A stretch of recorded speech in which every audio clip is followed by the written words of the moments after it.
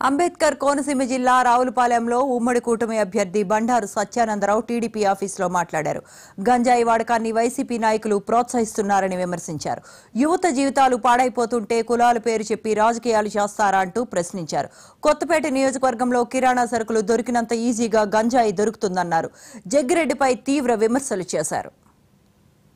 ప్రజాగలం సభలో చంద్రబాబు నాయుడు గారు మాట్లాడుతూ ఈ ప్రాంతంలో గంజాయి అమ్మకాలు విచ్చలవిడిగా జరుగుతున్నాయనే విషయం ఆయన దృష్టికి వెళ్ళడం ద్వారా ఆయన ఇక్కడ గంజాయి సందు సొందిన కిరాణా కొట్టులో కూడా దొరికే పరిస్థితి ఉంది అనేది అనే ఎక్కడైనా సరే ప్రతి చోట గంజాయి విచ్చలవిడి సరఫరా అవుతుందనే విషయాన్ని మీద ఆయన ఒక మాట కిరాణా కొట్టులో కూడా దొరుకుతుందనే మాటని వక్రీకరించి ఈనాడు అది ఆర్య ఆపాదించి కిరాణా కొట్టు వర్తకులు అవమానించారని ఆర్య అవమానించారని ఈనాడు కొంతమంది వైసీపీ నాయకులు మాట్లాడటం దాని మీద బంద్ చేయడానికి ప్రయత్నించడం చాలా సిగ్గుచేటైన చర్య.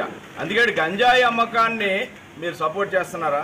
అంటే గంజాయి వల్ల యువతరం నాశనం అయిపోతుందనే బాధతోటి అందరం కూడా గంజాయిని అరికట్టాలని అనుకుంటా ఉంటే దాని గురించి ఆలోచించడం మాని దాన్ని వక్రీకరించి ఆర్య వయసు లేదో కించపరిచారని మాట్లాడటం దాని యొక్క మీ యొక్క బుద్ధిని బయట పెడతా ఉంది.